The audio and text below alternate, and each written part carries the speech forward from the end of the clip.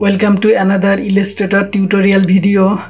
Today we will learn how to fix the clipping path limit reset for TIFF preview.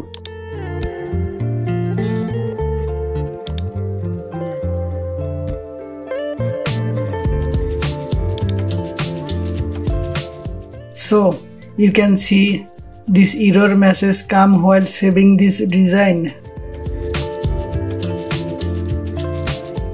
Let us solve this problem now.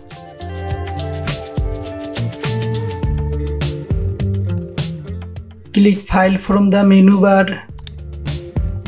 Click on Save As. Select Illustrator EPS format from Save As type. Click on the Save button. Click the Preview Format drop-down box from the EPS option dialog box. Select None.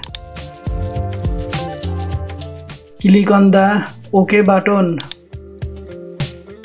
Work done you can see that the design is saved and the previous error message does not appear. This is our saved EPS file. So let's open it. Thanks a lot for watching the video.